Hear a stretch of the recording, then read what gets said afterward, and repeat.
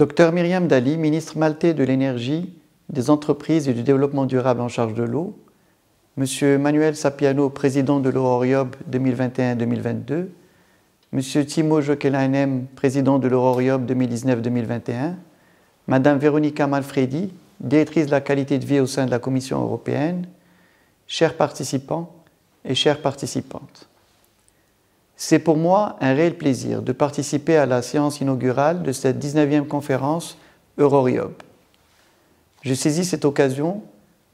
pour adresser mes vifs remerciements au nom du réseau international des organismes du bassin que j'ai l'honneur de présider aux autorités maltaises pour leur réactivité et leur capacité d'adaptation durant toute la préparation de cette conférence,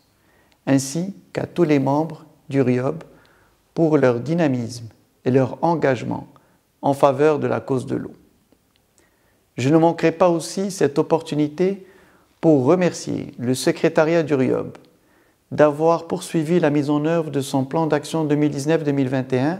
adopté à l'issue des travaux de l'Assemblée générale qui s'est tenue à Marrakech en octobre 2019, comme en témoigne l'organisation de cette conférence, mais aussi les cycles de webinaires mensuels et l'animation de plusieurs activités dans les différents forums internationaux. Mesdames et messieurs, l'Euroriob constitue une occasion pour effectuer un échange constructif des expériences acquises dans le domaine de la gestion intégrée des ressources en eau par bassin dans des contextes hydroclimatiques de plus en plus fragiles et vulnérables et pour renforcer également la coopération internationale et régionale dans ce domaine. En effet, l'eau constitue le principal enjeu, le principal défi et la principale victime du changement climatique, dont les impacts se manifestent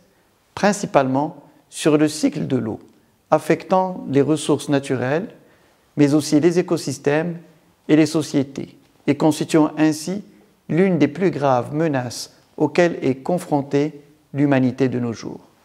De ce fait, il est impératif de mener des politiques publiques cohérentes et intégrée afin de parachever les chantiers de développement durable dans tous les continents et à tous les niveaux, d'autant plus que le nouveau programme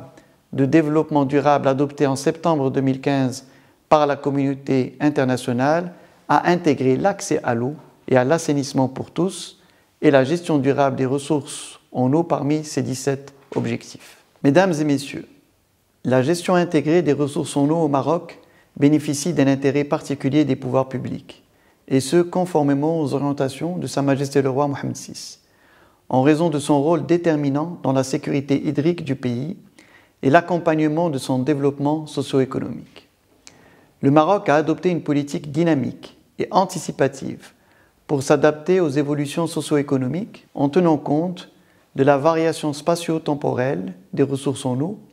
et des impacts prévisibles du changement du climat. Ainsi, et pour gérer ces ressources en eau limitées et soumises à la pression constante de la demande en eau, le Maroc a opté pour une gestion par bassin de ces ressources en eau en créant, il y a 20 ans déjà, les agences de bassin hydrauliques. La promulgation de la nouvelle loi 3615 vient renforcer davantage le rôle des agences de bassin hydrauliques et la gestion décentralisée et concertée de l'eau à travers la mise en place des instruments de participation des usagers à la gestion avec la création notamment des conseils de bassins hydrauliques. Mesdames et messieurs, l'expérience acquise par le RIOB au fil des années démontre que c'est sans conteste au niveau des bassins, des fleuves, des lacs et des aquifères, qu'ils soient nationaux ou transfrontaliers, que doit se mettre en place ou se renforcer les actions indispensables pour une gestion optimale des ressources en eau sur la base d'une réelle solidarité amont-aval, tout en veillant à l'implication des autorités publiques, des représentants des différents secteurs économiques, des autorités locales et des associations qui œuvrent sur le terrain et qui sont les véritables acteurs du changement. Aussi, et en assurant la présidence du RIOB pour la période 2019-2022, le Maroc réaffirme son engagement constant et permanent avec la communauté internationale de l'eau dans le but de promouvoir les différentes opportunités de coopération internationale et régionale et soutenir les échanges d'expériences et de bonnes pratiques en faveur d'une gestion intégrée et durable de cette ressource vitale. Nous réaffirmons également qu'en raison de la crise sanitaire liée au Covid-19, le Maroc est disposé à assurer, conformément à la sollicitation des partenaires, la présidence du RIOB jusqu'en 2024, date qui coïncidera avec la célébration du 30e anniversaire du RIOB, une fois actée lors de l'Assemblée générale statutaire du RIOB qui sera organisée en marge de la 9e édition du Forum mondial de l'eau prévu à Dakar en mars 2022. Mesdames et messieurs, le prochain Forum mondial de l'eau revêt une grande importance pour le RIOB et pour la gestion des ressources en eau à l'échelle des bassins. En effet, lors de cette manifestation d'envergure internationale, et pour la première fois, une journée sera entièrement dédiée à la gestion des ressources en eau par bassin, qu'ils soient transfrontaliers ou nationaux. Et dans ce cadre, il est important de souligner que la conférence Euroriob de Malte constitue un jalon important dans le processus de préparation de cette journée qui permettra, sans aucun doute, d'accorder à la gestion par bassin toute l'attention qu'elle mérite à travers notamment l'engagement et l'implication des parties prenantes et de converger ainsi vers des solutions palpables pour une meilleure gestion durable de l'eau dans le contexte du changement climatique. J'aimerais aussi souligner aujourd'hui que le Forum mondial de l'eau constitue également pour le Maroc une occasion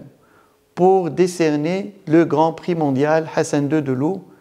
prix prestigieux créé en hommage à la mémoire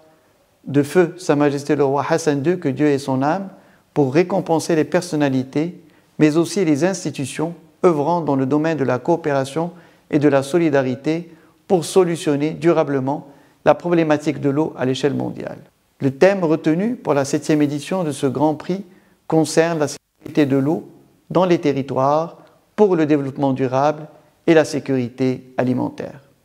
Enfin, je souhaite plein succès aux travaux de cette conférence internationale et je vous remercie pour votre attention.